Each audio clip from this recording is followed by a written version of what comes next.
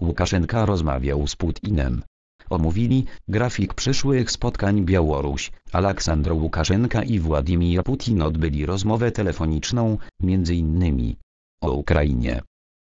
O rozmowie telefonicznej Aleksandra Łukaszenki i prezydenta Rosji Władimira Putina poinformowały w sobotę wieczorem służba prasowa białoruskiego lidera oraz biuro prasowe Kremla. Tematem rozmowy, jak podano w Mińsku, były stosunki międzynarodowe, w tym sytuacja wokół Ukrainy. Łukaszenka i Putin omówili także grafik przyszłych spotkań. Kreml podał z kolei w komunikacie, że obaj przywódcy poruszyli kwestie m.in. reakcji USA i NATO na rosyjskie propozycje w sprawie wypracowania długoterminowych międzynarodowo-prawnych gwarancji bezpieczeństwa Rosji. Na Białorusi od 10 lutego trwa aktywna faza manewrów wojskowych, Związkowa Stanowczość 2022, które są prowadzone m.in. w pobliżu granicy z Ukrainą, a także Polską i Litwą.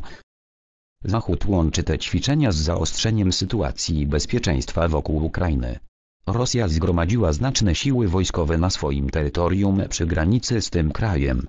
Działania te wywołują poważne obawy w krajach zachodnich, których przywódcy uważają, że istnieje ryzyko poważnych działań zbrojnych Rosji.